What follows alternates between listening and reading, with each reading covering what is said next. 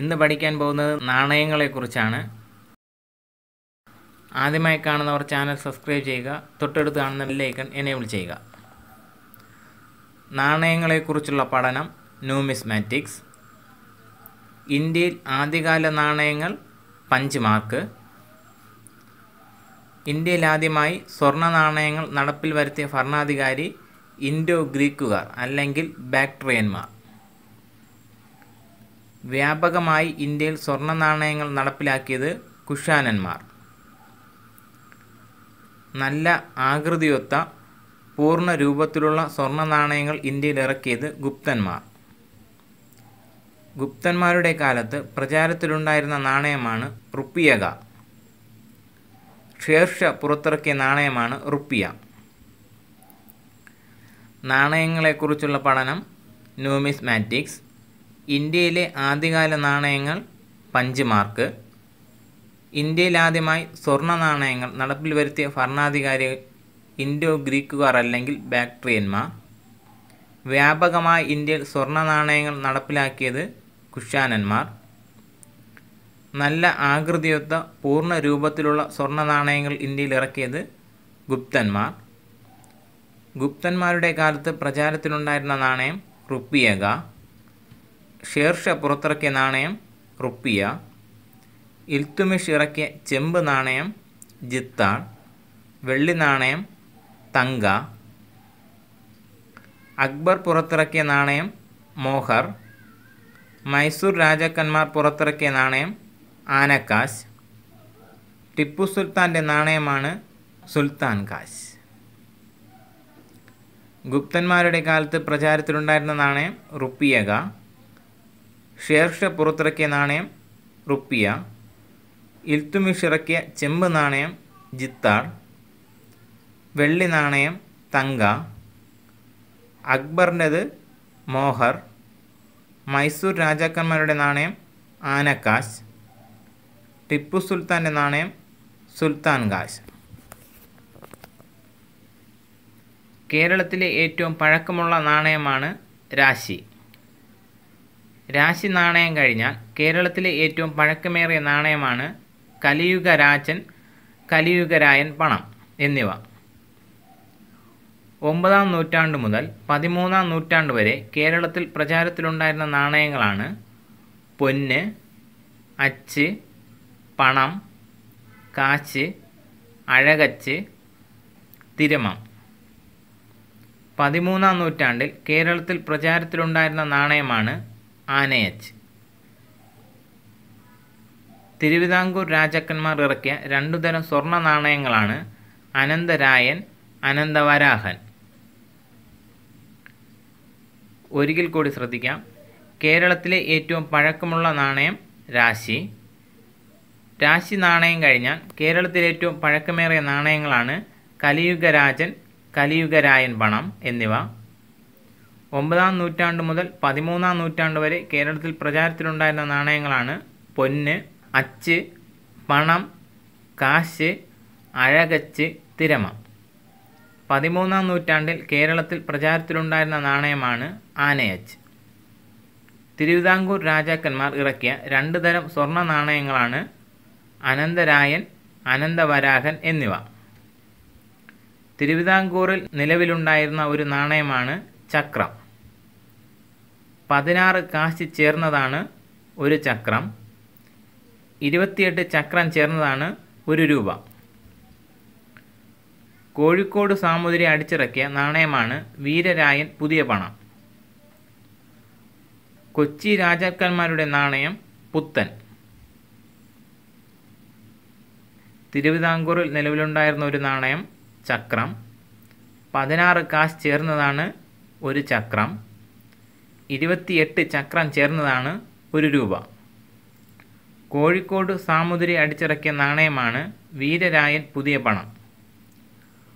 കൊച്ചി രാജാക്കന്മാരുടെ നാണയം പുത്തൻ. കേരളത്തിൽ പ്രചാരത്തിലുണ്ടായിരുന്ന മധുര സുൽത്താൻമാരുടെ നാണയമാണ് തുളുക്കാശ്. കേരളത്തിൽ പ്രചാരത്തിലുണ്ടായിരുന്ന സിലോൺ നാണയം ഈഴക്കാശ്. കേരളത്തിൽ നിന്നും കണ്ടെത്തിയ ഒരു പ്രധാന റോമൻ നാണയമാണ് ദിനാരിയസ്. കേരളത്തിൽ പ്രചാരത്തിലുണ്ടായിരുന്ന അറബി നാണയമാണ് ഡുക്കറ്റ്. കേരളത്തിൽ പ്രചാരത്തിലുണ്ടായിരുന്ന സ്പാനിഷ് നാണയമാണ് റിയർ. പോർച്ചുഗീസുകാരുടെയും ഡച്ചുകാരുടെയും കാലത്ത് കേരളത്തിൽ പ്രചാരത്തിലുണ്ടായിരുന്ന വെനീഷ്യൻ നാണയമാണ് സെക്കിൻ. ഫ്രഞ്ചുകാർ അടിച്ചിറക്കി മലബാർ പ്രദേശത്ത് വ്യാപകമായിരുന്ന ഒരു നാണയമായിരുന്നു മാഹിപ്പണം. കേരളത്തിൽ പ്രചാരത്തിലുണ്ടായിരുന്ന മധുര സുൽത്താൻമാരുടെ നാണയം തുളുക്കാശ് സിലോൺ നാണയം ഈഴക്കാശ് റോമൻ നാണയം ദിനാരിയസ് അറബി നാണയം ഡുക്കറ്റ് സ്പാനിഷ് നാണയം റിയർ. പോർച്ചുഗീസുകാരുടെയും ഡച്ചുകാരുടെയും കാലത്ത് കേരളത്തിൽ പ്രചാരത്തിലുണ്ടായിരുന്ന വെനീഷ്യൻ നാണയമാണ് സെക്കിൻ. ഫ്രഞ്ചുകാർ അടിച്ചിറക്കി മലബാർ പ്രദേശത്ത് വ്യാപകമായിരുന്ന ഒരു നാണയമായിരുന്നു മാഹിപ്പണം. ഇന്ത്യയിൽ നാണയങ്ങൾ അടിച്ചിറക്കാനുള്ള അവകാശം കേന്ദ്ര സർക്കാരിനാണ്. ആയിരത്തി തൊള്ളായിരത്തി ആറിലെ കൊയിനേജ് ആക്ട് പ്രകാരം ആയിരം രൂപ വരെ മൂല്യമുള്ള നാണയമിറക്കാൻ ഇന്ത്യൻ ഗവൺമെന്റിന് അധികാരമുണ്ട്.